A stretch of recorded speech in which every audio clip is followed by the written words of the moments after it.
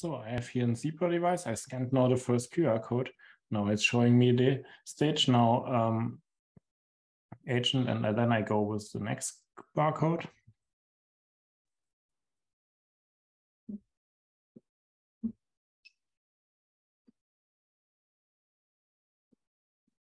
And then I go with the third barcode. Once done, it's setting up Wi-Fi. So you can see the Wi-Fi is just coming here soon.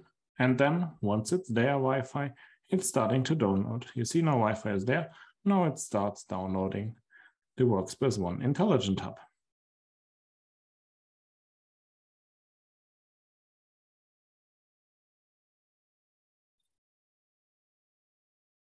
So you see it's now downloading.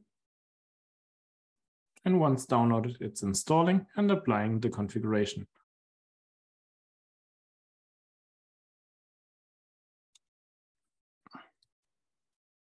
And once it is installed, the Workspace ONE Intelligent Hub, it launches it and it is already set to device owner. Now it's enrolling with the group identifier we entered and also the device service URL we entered. It's verifying the login credentials we already pre-populated and it's receiving the settings then.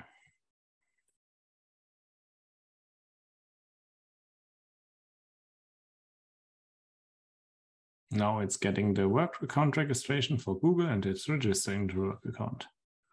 Once done, it's getting the enterprise settings. And once they are received and applied, we get to the home tab. In this case, it's our blog page.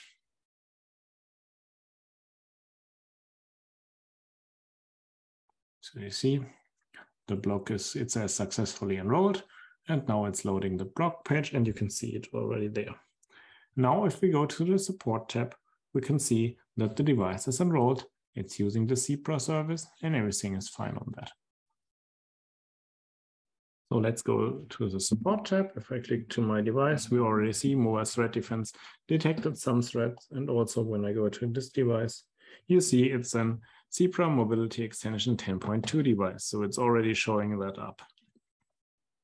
This was a demo on using StageNow and scanning that QR code, that barcodes on enrolling a device to Workspace ONE UEM.